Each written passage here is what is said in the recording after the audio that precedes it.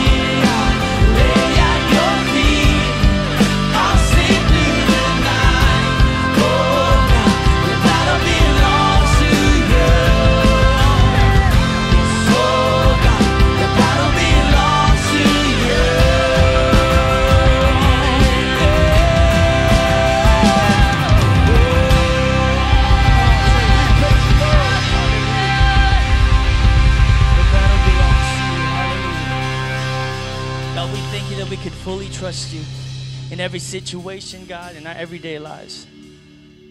The battle belongs to you, so we surrender everything to you, God. Let everything that we do give you glory and honor. Let every breath that we breathe, that we exhale praise. And we thank you that you're just in this room right now doing miracles.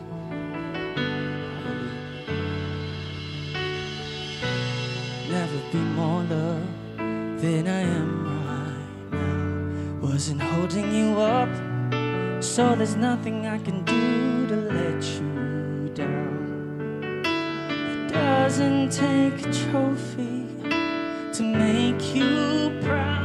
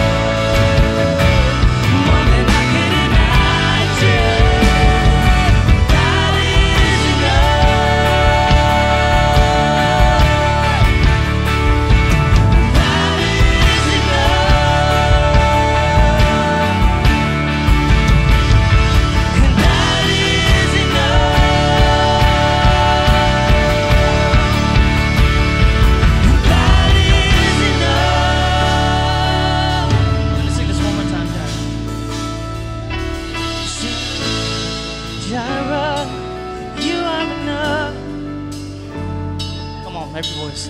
Jireh, you are Come on. And uh, we need to echo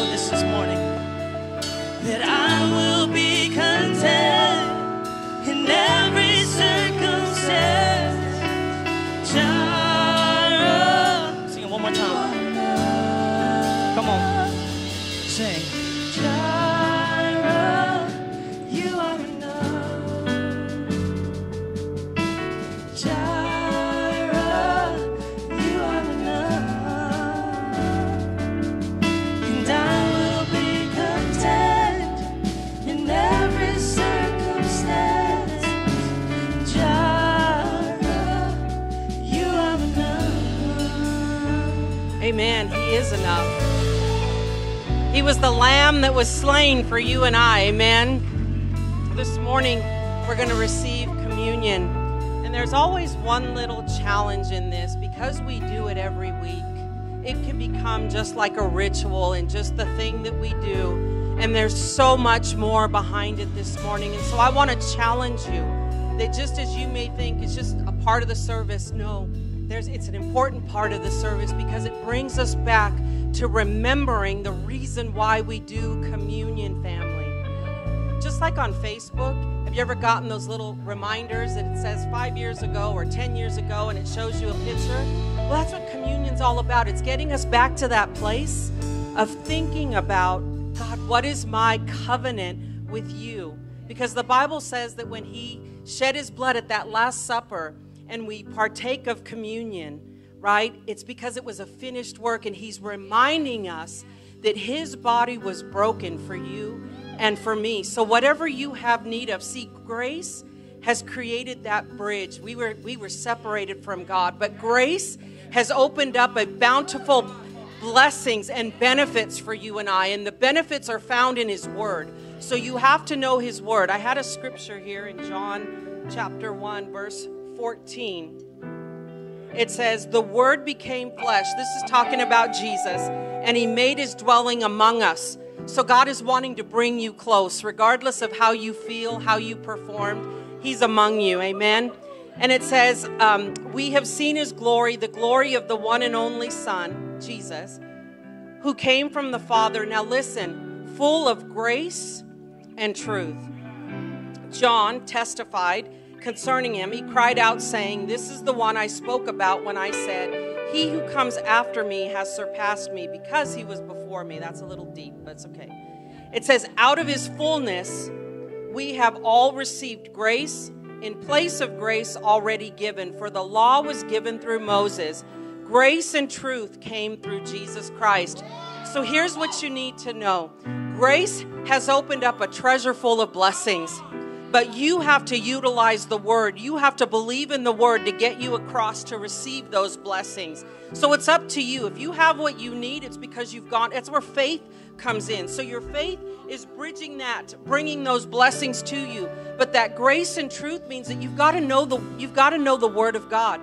So that when we come into receiving communion, if you have an ailment in your body, right? We're not denying the fact that maybe your back hurts or your leg hurts or you have something's going on. But what we're saying is the truth of God's word triumphs whatever those facts in your body are. Now, because we are children of God, we have that covenant that says, I can apply the word of God to my back, right? I can apply the word of God to my arm or whatever the case may be. But you've got to take the scripture of the word that says that He's healed us. And so in communion, we're reminded of that, of saying, God, when I partake of your body, it was broken for me so that I could be healed. And when I drink of your the grape juice that represents the blood that was shed for you and I, right? It reminds us that our sins have been forgiven. They've not been covered up. They've been removed as far as for east from the west. So it takes away the performance off of you and I. The only thing that we have to do to perform is believe his word and speak his word. So every time we come into communion, it is this point of contact of saying, Yes, God, I'm hurting today, but I know that your word says that you'll never leave me or forsake me. Or God, I'm a little afraid, but I know your word says to fear not, for I am with you, right? God, I feel a little bit alone, and God says, Hey, I have you as the apple of my eye. I hold you in the palm of my hand. That's what his word says. So we have to live our life not according to the thoughts and patterns of this world, but we need to live our life according to the word. What does the word say? And so we grab a hold of that. Amen. So this morning, as we partake of this wafer, speak to yourself and speak to your body and speak the word of God that says, I am healed. He was broken for me so that I could be healed in every area of my life. Go ahead and partake. And I love it, I love it, I love it. The Bible says, For the joy set before him, he, he endured the cross. And family, that's your pictures that were flashing before him. He said, I can do it because I know Michelle's going to accept me one day. I can do this because I know that John is going to accept me one day. Amen. I can do this because I know Nicole is going to say yes to me. Amen. And so it was your picture that flashed before him. Go ahead and partake. Father, we thank you. We thank you. We thank you. And I pray that faith has been ignited and sparked in every person within my voice this morning in Jesus' name. Let's continue to worship.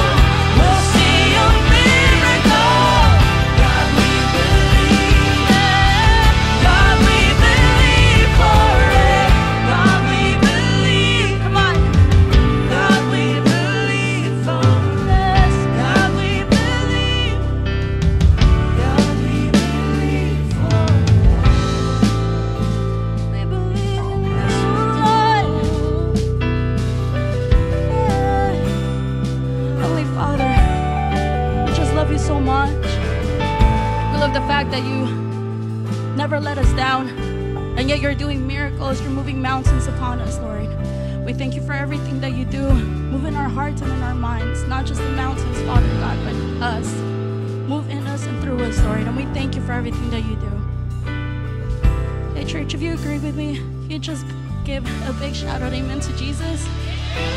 Amen. Man, how are we doing, church? Are we joyful today? Come on. That's right. Hey, how come we don't look at the person next to us and be like, man, you look so great today?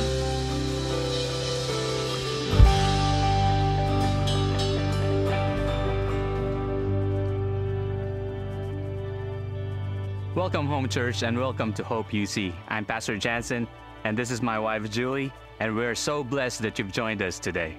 We want to welcome those of you who are joining us online. We're so happy that you're with us today. And if this is your first time in the building, be sure to check out the hub after service because we have a gift for you. And if this is your first time joining us online, please connect with us through the digital connect card. Our God is a God of breakthrough. So keep on believing, keep on expecting that He has something good in store for you today. We love you, church, and we're just getting started. So get ready. It's going to be a great service. All right. Good morning, Hope UC. How are you doing? All right. Well, it is my honor to be up here sharing around our giving today. You know, at Hope UC, we believe that generosity is our honor. It truly is our honor to give back to God for all He's given us. Um, there's going to be several ways to give on the screen. You guys can give on the Hope UC app, um, you can give online, you can give through Zelle, or you could drop it off at one of our generosity locations located throughout the building. You know, I really felt the Lord put on my heart and give me a word for our offering today. And the Holy Spirit spoke to me patience. And I had to really think about that. I'm like, Lord, what does that have to do with offering, right? And so, but you know, God God always knows, right? And so I was thinking of my little Harper. She's in TK this year, and they just started um, planting seeds in soil. And she's been talk coming home talking about it. And every day they're watching their plants to see if it starts to grow yet. And you know, those little TKers, they don't have a lot of patience, right? But they had to be patient, right? Because it takes a while for that plant, for that seed to sprout and it to grow. Well, just this Friday, she came home and told us, she's like, Mom, my seed started to grow. And I was like, Yay! So it's just a, such an exciting moment for her. But what the Lord was sharing with me about patience, right, is when you're planting your seed, your tithe today, your 10%, you are planting into the kingdom of God, right? And so when you're planting your seed, you are going to reap a harvest because that's what the Bible says, right? And kind of just like Tanya shared, right? When we pour ourselves into the word, the word is true, okay? So when you're planting your seed, you're giving your tithes and your offerings today, I just want you to know that you will reap a harvest because that's what the Bible says. But I want you to be patient in that harvest, right? You may not you may not see the benefits right away. You may it may be 6 months from now you could get an unexpected check, right? But I just want you to be faithful. Um, just trust God in your giving. And I believe me when you say it, you will reap a harvest. And I just want to share from Galatians 6 9 today. It says, So let's not get tired of doing what is good. At just the right time, we will reap a harvest of blessing if we don't give up. So I want to encourage you today to be patient in the waiting season for your seed to harvest. Amen. And if you're ever in a need, okay, you're going through something, I want you to remember in your moment of need, remember your seed okay? In your moment of need, remember your seed today that you planted, all right? All right, let's go ahead and pray. Dear Heavenly Father, I just thank you so much for today, Palm Sunday, Father God. I just thank you for um, everyone that is just putting their seed, Father God, putting you first, trusting the tithe, Father God, as we pour into your kingdom to see people saved, Father God. We just thank you for all that you're doing in our life and let us just have a blessed day and a great week ahead. Amen. Let's watch church news. Hey, church, can you believe Easter is just one week away? We're so excited to start off our Easter celebration this Friday with our Good Friday service at 7 p.m., followed by our Easter Sunday services at 8:30, 10, and 11:30 a.m. Easter is the best time for us to invite our friends and family to experience the love and grace that Jesus has freely given to us through the cross. Amen. If you're believing for someone to have that encounter with Jesus, make sure to invite them. And we'll see you this Friday. Community is our heartbeat here at Hope, and our desire is that every person has the opportunity to get connected. If you're searching for that community, we would love to get to know you and give you the chance to get to know us through Starting Point. You can sign up for Starting Point on the app, or you can visit the hub after service.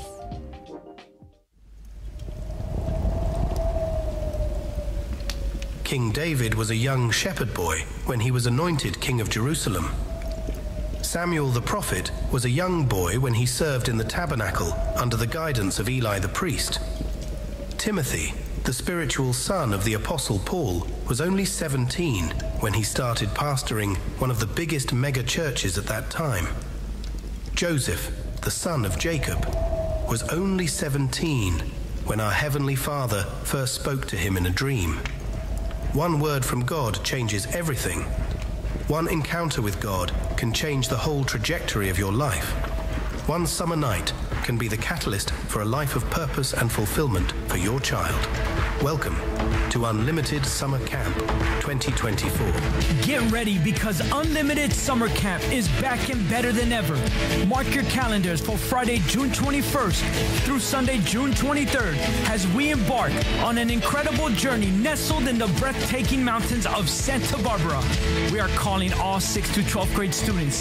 This is your exclusive invitation to a weekend that promises to be one of the most transforming experiences of your child's life. At Unlimited Summer Camp, your child will embark on a thrilling journey to encounter the presence of God and deepen their relationship with Jesus Christ. Picture this live worship sessions next to a campfire surrounded by their friends, interactive biblical teachings that ignite the spirit, and heart pounding group activities with a summer filled of unforgettable memories. Come meet us in the church lobby and register your child today or visit us on the Hope UC app. If you would like to sponsor a child, meet us in the church lobby today. Stay connected by following us on Facebook and Instagram at Hope UC Los Angeles. For more info and all things Hope UC, visit us online at hopeuc.com. Well, welcome home, church. How's everybody doing today? You guys are blessed to be in God's house today. Come on, whether you're in the building or online, we're so glad that you're worshiping with us today. Uh, you know, we are just one week away from Easter Sunday. Amen. We're so excited for what God is going to do here on Easter Sunday. Hey, we added an extra service, as you saw in the news, 8:30 a.m. We would love uh, for you to join us early if you are an early riser. Amen. Uh, it's going to be a great day, and, and I just encourage you invite someone uh, to experience the same hope, the same grace, the same love that you have as well. And so it's going to be a great day in God's house. Well, today is Palm Sunday, uh, and today marks the beginning of the week, come on, that leads us to Easter Sunday. And, and we call it Palm Sunday because it was uh, when Jesus is making his uh, triumphal entry into Jerusalem, they, ra- they laid the palm branches on the road before him. And at that time, palm branches were often used in celebration of victory. And in King David's time, they were used to honor royalty.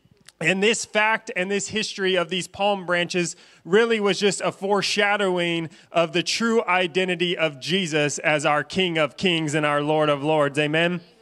Uh, but there was another thing that they laid that day that didn't get as much hype. It didn't have as good of a PR firm, right? It's Palm Sunday, but it could have been another name for that Sunday. Uh, let's take a look at that was Luke chapter 19. If you're taking notes, you can follow along on the Hope UC app or on the screen. Luke 19, verse 30 through 36, he said, Go into the town ahead of you.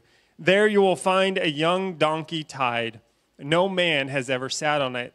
Let it loose and bring it to me. If anyone asks you, Why are you letting it loose? say to him, Because the Lord needs it. Can we just pause right there for just a second? I got more scriptures to read, but this is exactly the scenario we talked about last week. If you're here last week, I talked about our street smart people and our book smart people and our spirit smart people. You guys remember that? This is that exact scenario playing out where Jesus tells them to go do something. And I guarantee you on the way, they're like, this is a bad idea. I don't like this one bit. We're gonna look so stupid just walking up to this donkey, and then we're just gonna we're just supposed to say Jesus said he needs it. Like, what if they say, "Get the heck out of here"? What are you talking about? And they had to move with some faith, amen. Uh, like they had to be sure that Jesus was asking them to do this because it would have been embarrassing if it didn't work. But then, this is what happens in verse 32: those who were sent found everything as Jesus had told them. As they were letting the young donkey loose, the owner said to them, Why are you letting the young donkey loose? They answered, The Lord needs it. Then they brought it to Jesus. They put their coats on the donkey and they put Jesus on it. As they were going, they put their coats down in the road, which brings me to the title of the message today lay down your coat. Come on, look at your neighbor. Look at somebody next to you and tell them, neighbor, lay down your coat. I feel like the palm branches have got enough love. We're going to be talking about the coats today, amen. See, a coat was so much more valuable than a palm branch. Come on, anybody could go find a palm branch, but a coat a coat was everything to them. It would keep them warm. They would sleep with their coats. It wasn't like they had a coat closet. How many of you got a coat closet at home? Right? My wife's got a coat closet.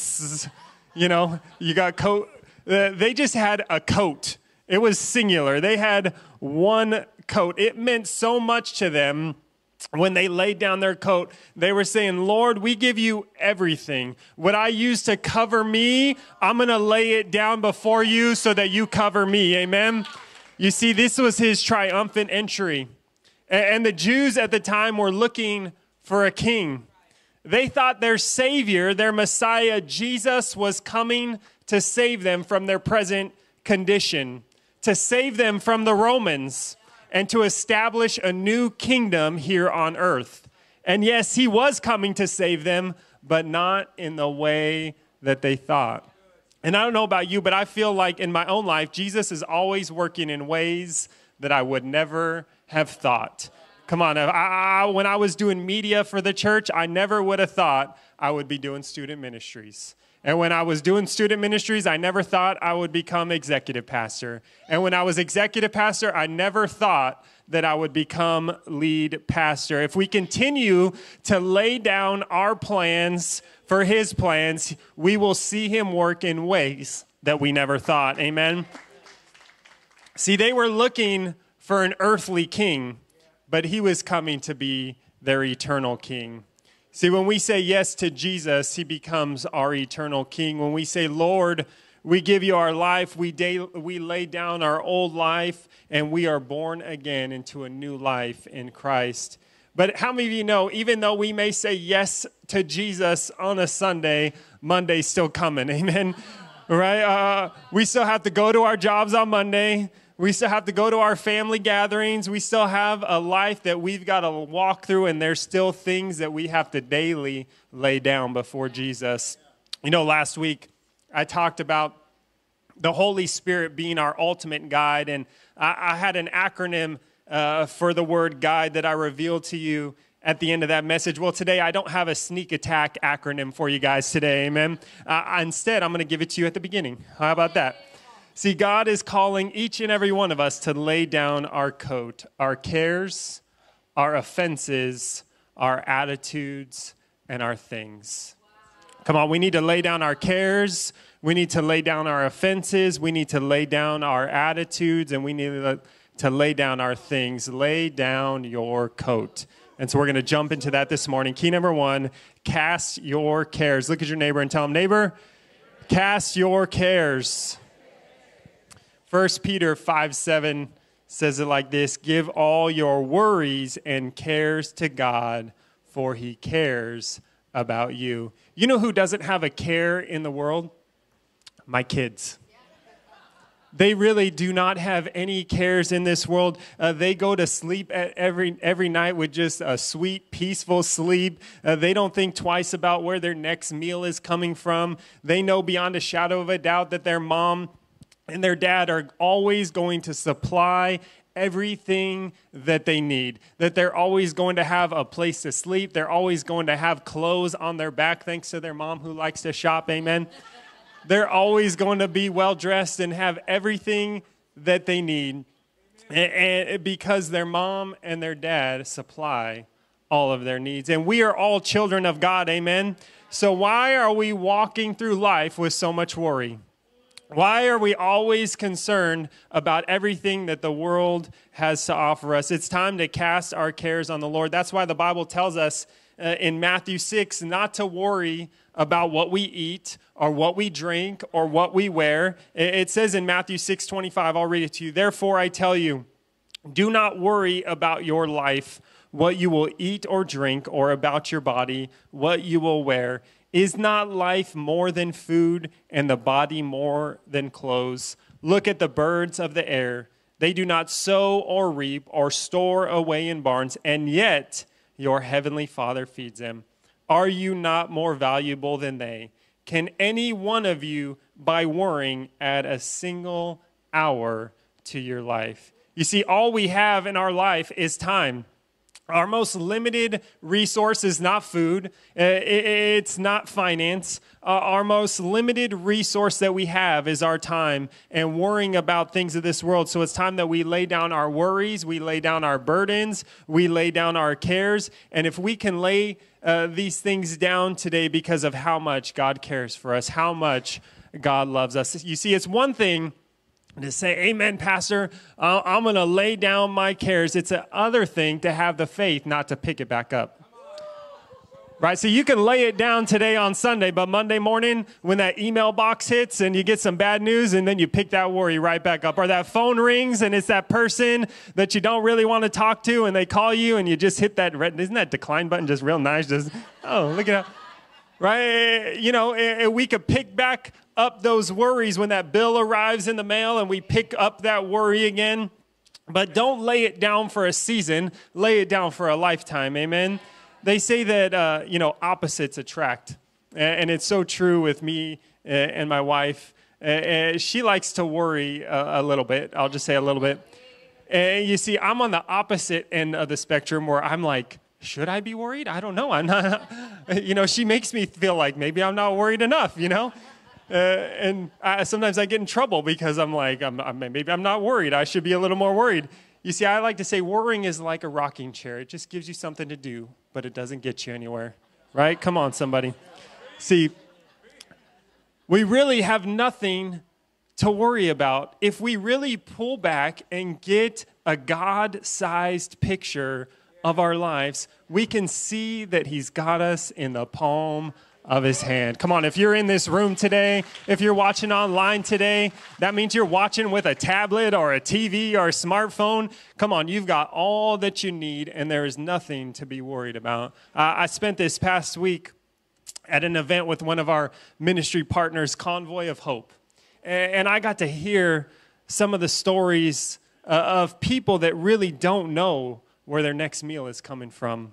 Uh, they, they're in villages and they're in these towns where uh, even if they had money, they can't just go buy food because there is no food in sight. They, they are fighting over food because of the lack of food supply. And so when you hear these stories of uh, of these people that really don't know where their next meal is coming from. And, and these amazing organizations like Convoy of Hope that, that brings hope that shows up on the scene and says there's people on the other side of the world that are supporting you so that we can bring hope to you in your time of need. And not just to meet your practical need but your spiritual need as well. Amen and, and so when you hear those stories you think man i got nothing to worry about. God has got me in the palm of his hand. Amen. The next thing this morning we need to lay down is offense. Key number two no offense. Come on, look at your neighbor and tell him, neighbor, no offense, but no, no, I'm just kidding. So, you know, when someone says no offense, what they're about to do is say something that's going to offend you. That's the only reason they say no offense. They're just trying to get themselves off the hook to say something offensive. See, Proverbs 19 11 says, Good sense makes one slow to anger, and it is his glory to overlook an offense. Come on, they say in sports, sometimes a good offense is a good defense. Well, the same true is in our life is if when we get offended, we get defensive, right? Come on. See, there's things that happen to us when we get offended. Write these things down if you're taking notes. Three things that happen to us when we get offended. Number one, it separates. You see, when we allow ourselves to take offense, it separates us from others around us. It produces a we versus me attitude. It makes you feel like everyone is out to get you, right? And then the second thing it does is it escalates. Usually, if you get offended, the first thing that you do is you tell other people that you were offended. Uh, you invite people into your pity party of one. Can you believe what this person did to me? Come on, can you believe that they stole my seat? Right? And you get offended and then you're all you're all hurt, right? Can you believe it? And, and see, we can't allow it to escalate. Number 3, it paralyzes. Living a life of offense will often paralyze you and it will leave you stuck, and you don't advance to the level where God wants you to go because you can't extend forgiveness. Offense escalates, it separates, and it paralyzes us. That's why the Bible tells us come on, how many of you know it's good to know what the Bible tells us? 1 Corinthians 13 5 says, Love takes no account of the evil done to it, it pays no attention to a suffered wrong. Come on, we can read that in church on Sunday, but how do you know it's very difficult to live out on a Monday, right? Uh, the person who walks in love takes no account of evil committed against them. The world will love to tell us to get even, but when we take no account, we don't get even with anyone who has wronged us. Instead, we refuse to give the injustice, the offense, the wrong, the attention that it demands. You see, that when the opportunity to get offended presents itself, uh, I take no account, I pay no attention. I encourage you to do the same as well. It will work wonders for your life. You know, one of the distinguishing characteristics of someone who has allowed offense to become rooted in them is this desire to get even, right? Uh, when that person who hurt them experiences some kind of uh, tragedy, you think, well, good, they had it coming, right? Uh, Jesus accomplished the greatest act of forgiveness and refusal, refusal of offense on the cross. Come on, the same people who praised him today on Palm Sunday and who laid down their coats were the same people who said, Crucify him on Good Friday. And it would have been very easy for him to take offense, but instead, when he was on the cross, he said, Father, forgive them, for they know not what they do. Amen. Notice Jesus didn't say, Father, kill them. Pay them back for the wrong that they committed. No, he said, show them grace, show them forgiveness, forgive the offenders. And he's asking the Father to not hold their sins against them. So, how do we stay uh, in a posture that is unoffendable? How many of you want to be unoffendable? Amen? Five of you. Great. We're working on it. We're work in progress how do we stay unoffendable? We lower our expectations of people and we raise our expectations of God. Come on, people people are going to offend you. People are going to let you down. People are going to disappoint you. So let's lower our expectations of man and instead raise our expectations of God. Amen. The next thing we are going to have to lay down this morning is our attitude. Come on, it just keeps getting easier and easier. Amen. Key number three your attitude sets your altitude. Ephesians 4 22 through 23 says, Throw off your old sinful nature and your former way of life, which is corrupted by lust and deception. Instead, let the Spirit renew your thoughts and attitudes. Come on, we have to lay down our old attitudes and allow the Holy Spirit to renew our thoughts and our attitudes. You know, an attitude will take you so much farther than your aptitude. You know, how much, how smart you are, how intelligent you are doesn't mean much if you have a negative attitude. And if we want God to take us into the more uh, that He has for us this year, then we're going to have to uh, have an attitude checkup. Come on. Have you offended anybody with your attitude? Amen. You don't need to raise your hands. It's okay. don't tap your neighbor. Look at your spouse. One of our kids, uh, I'm not going to throw any of our kids under the bus, but one of our kids, we find ourselves continually saying, Watch the attitude.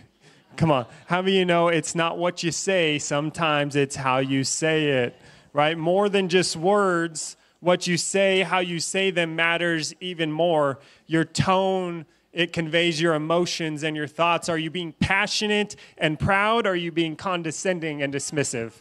Come on. The same phrase said in different ways can mean very different things. If I said, whatever you want, babe, or whatever you want, babe. Come on. I'm getting two different responses. I said the same thing. It's all on how you say it. Perception is reality. So even if you say something that feels sincere to you, the person could hear it completely different. Amen. And it becomes the reality. So, how's our attitude to our boss? How's our attitude to our teachers? How's our attitude to our spouses? How is our attitude to our loved ones? We need to let the Holy Spirit renew our attitude and to show us ways where we can be more loving. And really can just start by uh, what we say and how we say it. Come on, the, it says if you're happy and you know it, then you're not not clap your hands. Wrong song. If you're happy and you know it, your face will surely show it. Is it then it goes if you're happy and you know it, clap your hands? Okay, you got, you got ahead of me. You got ahead of me. See, and the opposite is true as well. If you're not happy, everyone else around you is going to know it, and your face will absolutely show it. So we need to lay down our attitude and we need to pick up an attitude of gratitude, an attitude that raises your altitude to the more that God has for you. So come on. If anyone could have had an attitude, it would have been Jesus. Come on. Yet on this Palm Sunday, instead of running away from Jerusalem, he went, Get me that donkey, let it loose. It's time to go. It's time to go towards my purpose, even though it's going to be painful, even though there's pain ahead. I'm walking into the purpose that God has for me. Amen. Uh, key number four this morning uh, don't make things a thing. Come on, look at your neighbor one more time. Tell him, neighbor, don't make it a thing. Have you ever let your things become a thing? Become the thing that holds you back from all that God has for you. You see, we see in the book of Mark when the rich young ruler went to Jesus and asked him, What is needed for me to do to inherit eternal life. And this was Jesus' response to that rich young ruler. He says in Mark chapter 10, 21 through 22, looking at the man, Jesus felt genuine love for him. There is still one thing, someone say one thing. There is still one thing you haven't done, he told him.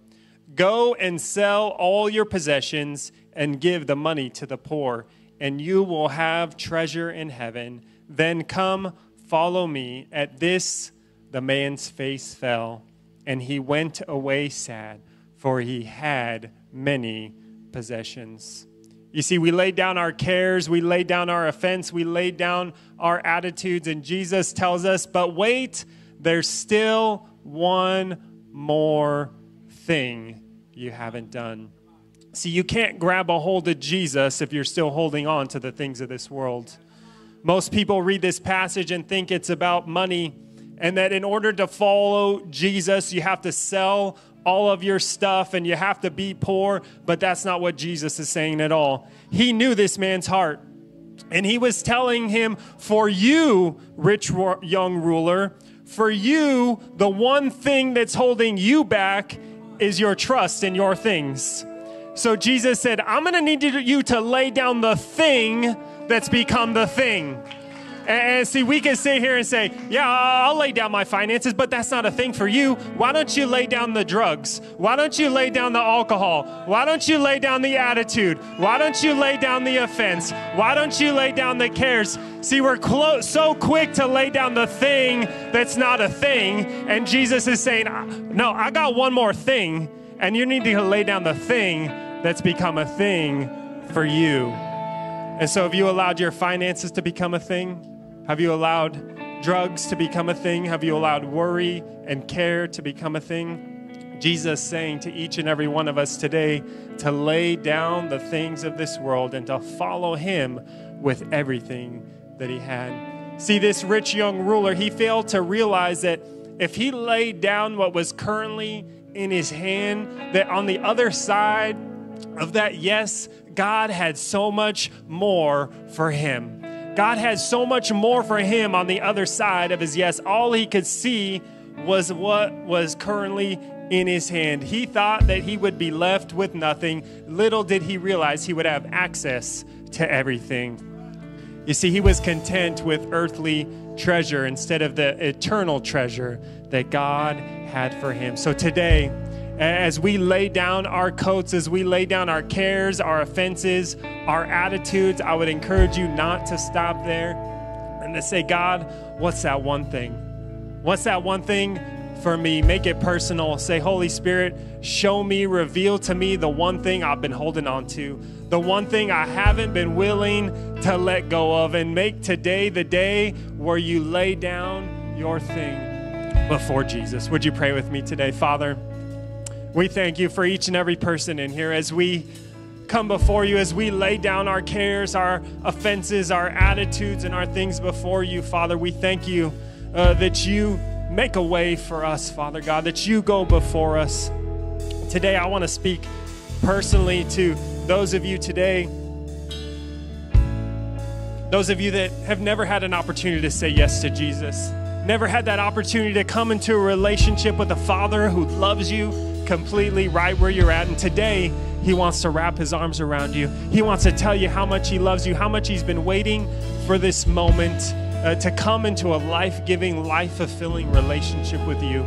The Bible says that two things are required an open heart and an open mouth. If you confess with your mouth and believe in your heart that God raised Jesus from the dead, then you shall be saved.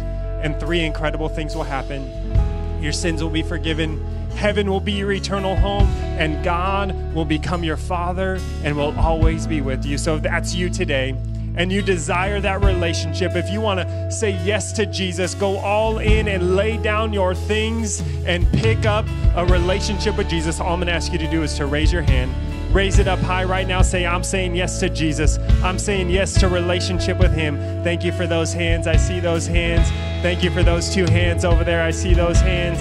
Thank you for that hand right there. Thank you for that hand. Thank you for that hand back there. Come on, hands going up all over of people saying yes to Jesus. Well, what we're going to do, church, is we're going to pray. All of us together, repeat after me. Say it loud, say it bold. Dear God, forgive me of my sins.